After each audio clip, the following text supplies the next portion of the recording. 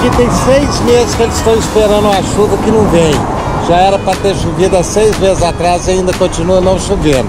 Então nós vamos aqui, ó, entrar passando por Devance, que é uma cidadezinha.